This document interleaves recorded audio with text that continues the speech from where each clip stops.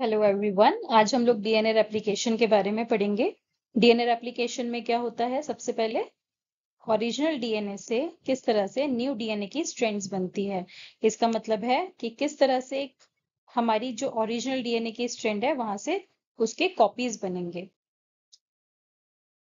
DNA replication क्या होता है? डीएनए रेप्लिकेशन एक प्रोसीजर होता है प्रोड्यूसिंग टू आइडेंटिकल कॉपी और DNA from one original DNA molecule it involve the separation of two strands ये दो स्ट्रेंड्स जो हमारी डीएनए की स्ट्रेंड्स होती है, उसको दो भागों में डिवाइड करता है और उन भागों को इस्तेमाल करके न्यू कॉम्प्लीमेंट्री स्ट्रेंड्स बनाते हैं। इसमें कुछ एंजाइम्स हेल्पफुल होते हैं, कुछ प्रोटीन्स होती हैं मेटेलाइंस होती हैं। इस इमेज में आप देख सकते हैं कि यहाँ पे हमारे पास डीएनए की स्ट्रेंड्स हैं।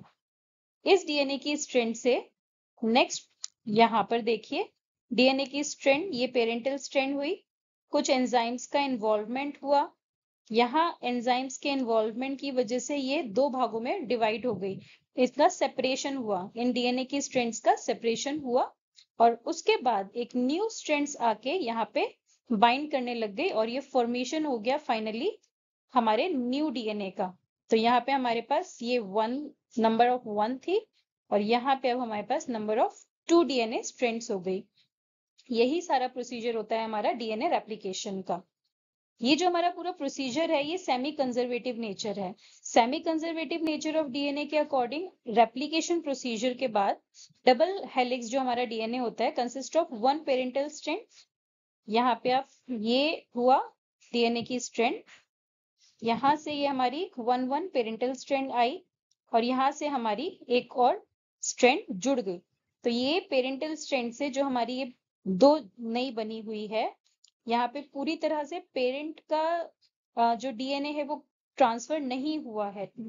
ठीक है? इसीलिए इसको सेमी कंजर्वेटिव बोलते हैं। ये सेमी ये पूरी तरह से कंजर्व नहीं हो पाया है, इसलिए इसको semi conservative nature of DNA बोलते हैं। अब यही हम पढ़ेंगे आगे कि ये जो प्रोसीजर है, ये होता कैसे है, ये कितने कितने स्टेप्स में होते हैं, इसी को हम लोग डिटेल में अभी आगे पढ़ने वाले हैं। तो ये प्रोसीजर पूरा क्या हुआ कि सिंगल जो हमारा डीएनए है, इसका किस तरह से सेपरेशन होगा, किस तरह से इसमें न्यू स्ट्रेंड्स बनेंगे कौन कौन से एंजाइम इन्वॉल्व होंगे। अगर हम लोग लोकेशन की बात करें तो हमारा जो डीएनए रेप्लीकेशन है, ये प्रोकैरियोट्स में साइटोप्लाज्म में होता है और यूकैरियोट्स में ये न्यूक्लियस में होता है। ऑलराइट कौन कौन से एंजाइम्स इसमें इन्वॉल्व है? इसमें हेलिकेज एंजाइम इन्वॉल्व है, जो कि एक अनजिपिंग एंजाइम की तरह काम करता है अनजिप करता है ये। डीएनए पॉलीमरेज हेल्प करता है, जो कि एक बिल्डर एंजाइम की तरह हेल्प करता है। आरएनए प्राइमेज जो प्राइमर्स को लेके आएगा एज एन इंजीनियर वर्क करेगा। और लास्ट में हमारे लाइगेज वर्क करते हैं, जो कि as an gluing agent work करते हैं। तो ये मेन फोर एंजाइम इन्वॉल्व होते हैं हमारे डीएनए रेप्लीकेशन में। लोकेशन जैसे कि हमने बताया प्रोकैरियोट्स यूकैरियोट्स के अलग अलग होते हैं तो इनमें और भी काफ़ी सारे एंजाइम्स हमारे इन्वॉल्व होते हैं बट ये मेन फोर एंजाइम्स हैं जो सबसे ज़्यादा हेल्पफुल होते हैं। पहले अनजिप किया जाता है, फिर इसमें बिल्डिंग ब्लॉक्स बनाई जाती हैं प्राइमर्स हेल्प करता है, और लास्ट में उसको ग्लू करके फ्रेश हमारी जो स्ट्रेंड्स हैं वो बन जाई जाती है। सबसे पहला जो हमारा स्टेप होता है, वो फॉर्मेशन ऑफ़ रेप्लीकेशन फोर्क होता है। रेप्लीकेशन फोर्क बनाने से पहले वो बनता कैसे है, कैसे एंजाइम्स इसमें इन्वॉल्व होते हैं, वो हम यहाँ पे पढ़ते हैं। तो देखिए डीएनए की जो स्ट्रेंड होती है, ये आप लोग जानते हैं कि वो एंटी पैरेलल स्ट्रेंड होती है। एंटी पैरेलल मतलब अगर डीएनए का कोई स्ट्रेंड फाइव प्राइम से थ्री प्राइम डायरेक्शन में होगा तो उसी की जो पैरेलल वाली स्ट्रेंड होगी, वो थ्री प्राइम से फाइव प्राइम डायरेक्शन में होगी। इसी डायरेक्शन को बोला जाता है anti parallel direction anti parallel DNA strands ठीक है? तो एक अगर हमारी फाइव प्राइम से थ्री प्राइम डायरेक्शन में होगी तो दूसरी हमारी थ्री प्राइम से फाइव प्राइम डायरेक्शन में होगी। इसी को हमारा बोला जाता है anti parallel strand of DNA यहाँ पे आप इधर देख सकते हैं, ये हमारी थ्री प्राइम हुई, ये हमारी फाइव प्राइम हुई। ये हमारे, हम, दो स्ट्रेंड्स ऑफ़ डीएनए हैं। ये हमारे बेसिस हैं ए टी जी सी ये हाइड्रोजन बॉन्ड से बाइंडेड होते हैं, यहाँ शुगर फॉस्फेट की बैकबोन है तो ये तो नॉर्मल स्ट्रक्चर हो गया। ठीक है, अब हम बात करते हैं recognition of origin of replication ये ओरिजिन ऑफ़ रेप्लीकेशन को ढूँढने से पहले हमें सबसे पहले पता होना चाहिए डीएनए के स्ट्रेंड्स के बारे में। तो डीएनए की जो हाइड्रोजन ये जो डीएनए की जो हमारे बेसिस होते हैं, ये हाइड्रोजन बॉन्ड से जुड़े हुए होते हैं। दोनों स्ट्रेंड्स के पास न्यूक्लियोटाइड्स प्रेजेंट होते हैं। इन न्यूक्लियोटाइड्स को AT A adenine thymine bases बोला जाता है। ये हमारे जो एडेनिन थायमिन होते हैं। ये बेसिस आपस में कैसे मैंने बोला था? हाइड्रोजन बॉन्ड से एडेड होते हैं, जुड़े हुए होते हैं। एडिनिन जो होता है वो थाइमिन के संग बाइंड होता है और जो ग्वानिन होता है वो साइटोसिन के संग बाइंड होता है, ठीक है? तो ये किस तरह से रहेगा? अगर एडिनिन है तो वो डबल बॉन्ड ऑफ़ थाइमिन रहेगा, अगर ग्वानिन है तो वो ट्रिपल बॉन्ड ऑफ़ हाइड्रोजन के ट्रिपल बॉन्ड के संग, साइटोसिन के संग बाइंड रहेगा। इसमें डबल बॉन्ड रहता है हाइड्रोजन का और इसमें ट्रिपल बॉन्ड होता है हाइड्रोजन का ऑल राइट अब इस फ़र्स्ट स्टेप में होता क्या है? रिकॉग्निशन स्ट्रेंड्स होती है। Recognition of origin of replication होती है। ये जो डबल स्ट्रैंड डीएनए मॉलिक्यूल है, इस डबल स्ट्रैंड मॉलिक्यूल में एक रीजन होता है, जहाँ पे एडेनिन और थायमिन वाला सीक्वेंस होता है। किस तरह से रहेगा? एडेनिन और थायमिन वाला सीक्वेंस यहाँ मैं आपको बताती हूँ। तो ये जैसे कि हमारी डीएनए की ये स्ट्रेंड हुई। इस डीएनए के स्ट्रेंड में ए टी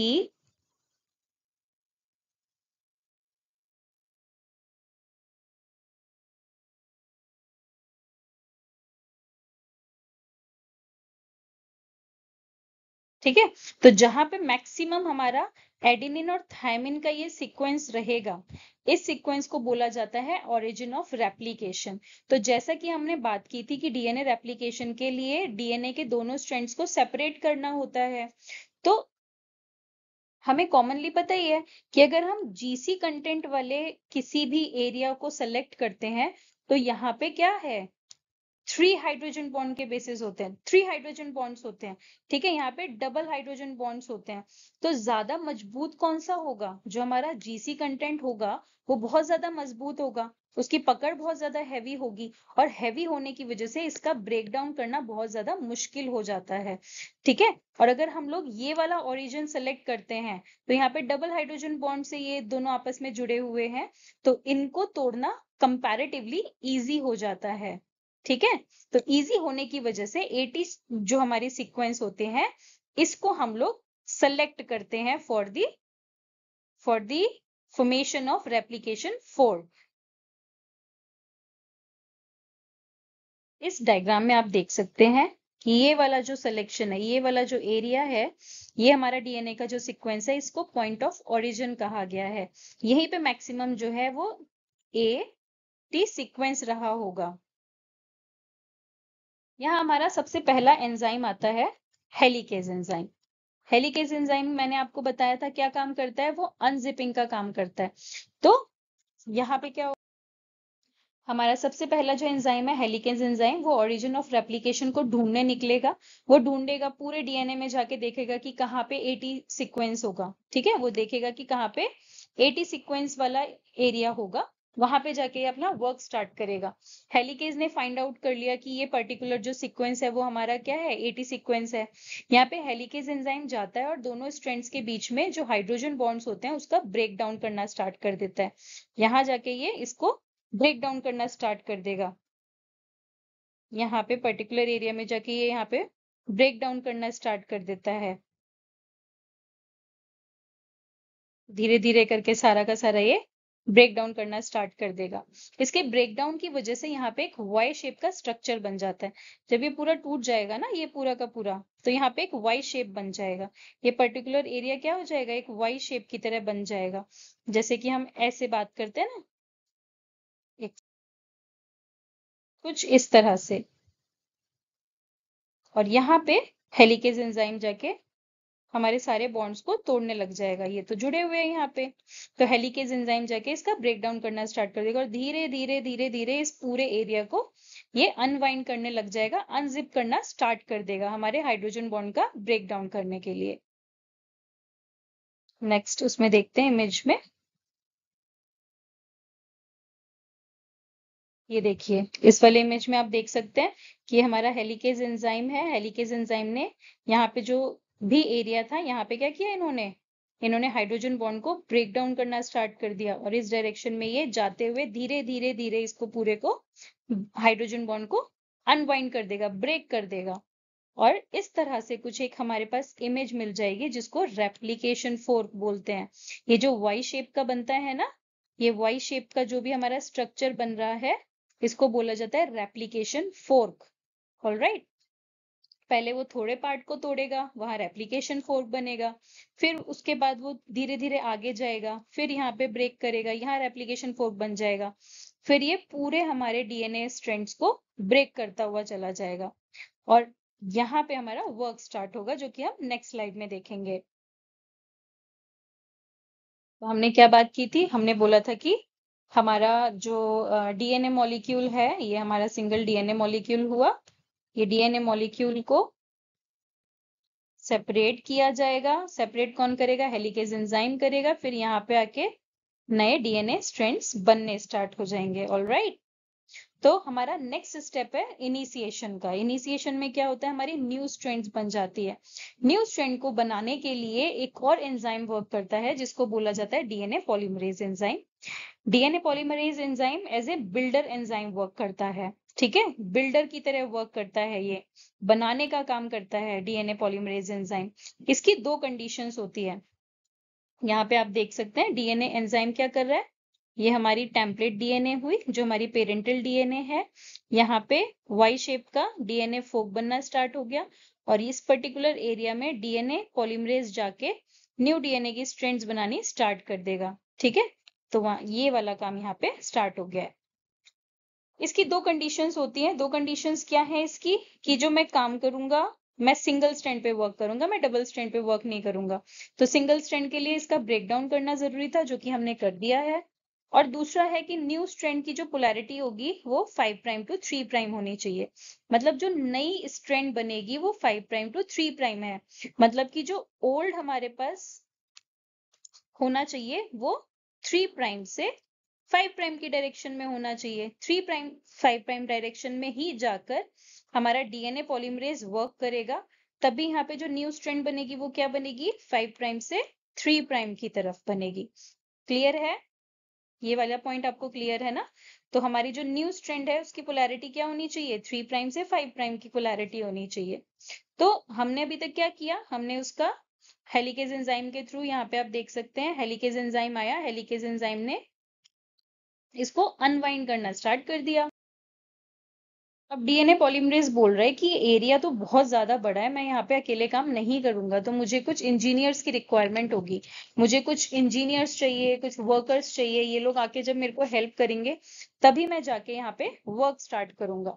तो यहाँ पर जो रोल आता है, यहाँ पे रोल आता है हमारे पास आर प्राइमेज का।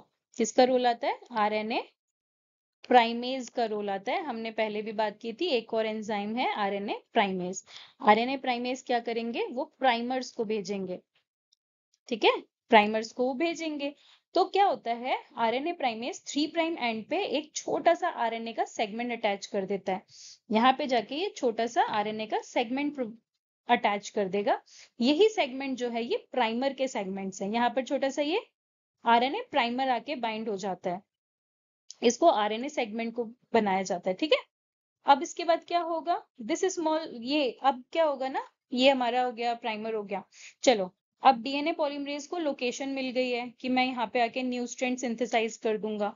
तो वो क्या करेगा? बहुत सारे न्यूक्लियोटाइड्स लेके आएगा, है ना? न्यूक्लियोटाइड्स हमारे जो A T G C contents वगैरह हैं, उन सबको ये ला देगा यहाँ पर। और बहुत ही इजीली यहाँ पे डीएनए पॉलीमरेज आया। इसके संग बाइंड किया और डीएनटीपीज को लगाता गया और हमारे पास न्यू स्ट्रेंड बनती गई। यहाँ हेलिकेज ने अपना काम करना स्टार्ट कर दिया और यहाँ पे हमारी न्यू स्ट्रेंड्स बनती गई। स्मूथली ये स्ट्रेंड्स हमारी बनती गई। ये जो स्मूथली ये स्ट्रेंड बन रही है, बिना किसी रुकावट के इसको बोला जाता है लीडिंग स्ट्रेंड क्योंकि ये लीड कर रही है। क्या बोला जाता है इसको? Leading strand now coming to the next strand अब इसमें भी बात करते हैं। अब इसमें क्या करेंगे? यहाँ पे तो एक प्रॉब्लम है कि ये फाइव प्राइम में आ रहा है। अब डीएनए पॉलीमरेज की कंडीशन थी कि वो सिंगल स्ट्रेंड पे काम करेगा। एक चीज़ तो यहाँ पे हो गई कि ये सिंगल स्ट्रेंड है। सेकेंड रिक्वायरमेंट थी कि जो पेरेंट स्ट्रैंड रहेगा, उसकी पोलैरिटी थ्री प्राइम से फाइव प्राइम है। तो मतलब इस पर्टिकुलर लोकेशन से तो ये स्टार्ट नहीं कर सकता है। इस कंडीशन में जब तक यहाँ पे हमारा हेलिकेज ने इसको अनवाइंड करना स्टार्ट किया था। आरएनए जाके यहाँ पे अटैच हो जाता है। यहाँ अटैच होने के बाद आरएनए अटैच हो गया और यहाँ से एक हमारी स्ट्रेंड बन गई। स्ट्रेंड जो बनी है वो, ये हमारी बनी है फाइव प्राइम से थ्री प्राइम के लिए। ठीक है? फिर थोड़ी देर के बाद हेलिकेज ने और थोड़ा सा अनवाइंड किया। अनवाइंड करके इस जगह पे आके वापस से प्राइमर आ गया। प्राइमर आ गया तो डीएनए पॉलीमरेज ने यहाँ पे वापस से थ्री प्राइम और फाइव प्राइम डायरेक्शन में एक और बना दिया। सॉरी फाइव प्राइम से थ्री प्राइम डायरेक्शन में एक और बना दिया। फिर हेलिकेज यहाँ से थोड़ा सा और मूव करेगा तो यहाँ छोटा सा एक और बन जाएगा। अब ये जो छोटे छोटे टुकड़ों में ये डीएनए की स्ट्रेंड्स बन रही हैं, ये छोटे छोटे स्ट्रेंड्स जो है, इसको बोला जाता है ओकाजाकी फ्रेगमेंट ओकाजाकी फ्रेगमेंट्स इसी पर्टिकुलर को बोला जाता है ओकाजाकी फ्रेगमेंट जो प्रॉब्लम क्रिएट करता है। यहाँ पे ये प्रॉब्लम हुई। नाउ डीएनए के स्मॉल फ्रेगमेंट्स ये हो गए हमारे ओकाजाकी क्योंकि ये टूटे टूटे फेजेस में आ रहे हैं, इसीलिए इस टूटे टूटे फेजेस को, इस स्ट्रेंड्स को बोला जाता है लैगिंग स्ट्रेंड क्योंकि लैग कर रहा है ये। लेगिंग स्ट्रेंड ये हमारा लेगिंग स्ट्रेंड हमने अब डीएनए के मॉलिक्यूल्स तो मिल गए बट इसमें बहुत सारे आरएनए सेगमेंट्स प्रेजेंट हैं प्राइमर्स प्रेजेंट हैं. नाउ नेक्स्ट स्टेप में डीएनए पॉलीमरेज क्या करेगा? वो एक नए एंजाइम को बोलेगा कि भैया आप आइए और आप इसको आके जोड़ दीजिए। यहाँ पे आते हैं हमारे डीएनए लाइगेज डीएनए लाइगेज को हमने बोला था कि ये ग्लूइंग एंजाइम की तरह काम करेगा। डीएनए लाइगेज यहाँ पे आते हैं और कहते हैं कि ठीक है, जो डीएनए पॉलीमरेज हैं, वो आके आप पहले यहाँ से जो प्राइमर्स हैं, इनको रिमूव करिए। तो डीएनए पॉलीमरेज आके सबसे पहले यहाँ पे जो ये हमारे आरएनए के फ्रेगमेंट्स थे, इनको रिप्लेस कर देते हैं और इसकी जगह पे हमारे डीएनए के फ्रेगमेंट्स लेके आ जाते हैं। जब यहाँ पे डीएनए के फ्रेगमेंट्स आ गए तो लाइगेज क्या करता है? लाइगेज इधर आता है और आके इधर इनको जोड़ना शुरू कर देता है। तो रिप्लेस किसने किया? डीएनए पॉलीमरेज ने सभी प्राइमर्स को, सभी आरएनए प्राइमर्स को रिमूव कर दिया और यहाँ पे लाइगेज ने आके उनको आपस में जोड़ दिया। और ये बहुत ही स्मूथ से एक और हमारी डीएनए की स्ट्रेंड बन गई। तो दोनों ही बिना, दोनों ही हमारी अब लीडिंग स्ट्रेंड हो गई है। अब कोई प्रॉब्लम नहीं है। तो देखिए, यहाँ पे हमारे, हमने क्या मिला? यहाँ हमारा पेरेंटल डुप्लेक्स था। यहाँ हमारी प्रोग्रेशन हो रही है। डीएनए की जो फोक प्रोग्रेशन हो रही है, ये हमारी लीडिंग स्ट्रेंड के बारे में हमने पढ़ा था, जो कि बहुत स्मूथली बनती हुई जा रही है। यहाँ हमारे आरएनए प्राइमर्स हैं ओकाजा की फ्रेगमेंट्स बने लैगिंग स्ट्रेंड बने। बाद में कुछ और एंजाइम्स आए, उन्होंने अपना वर्क किया। तो लास्टली हम बात करते हैं, यहाँ पे रिकॉग्निशन हुआ था हमारे ओरी का। अनवाइडिंग हुई थी हमारे डीएनए के स्ट्रेंड की, फॉर्मेशन हुआ था, रेप्लिकेशन होक का आरएनए प्राइमेज ने प्राइमर्स को लेके आए, डीएनए पॉलीमरेज ने न्यू स्ट्रेंड्स बनाए लीडिंग एंड लेगिंग स्ट्रेंड बनी, डीएनए लाइगेज ने ज्वाइन किए सारे ओकाजा की फ्रेगमेंट्स को, वापस हमारा प्रूफ रीडिंग हुआ गया और two new strands from one DNA molecule बन गया। तो यही पूरा प्रोसीजर था हमारा डीएनए रेप्लीकेशन का, जो कि बहुत ही इजी प्रोसेस है। आई होप आप लोगों को समझ में आया होगा। Thank you so much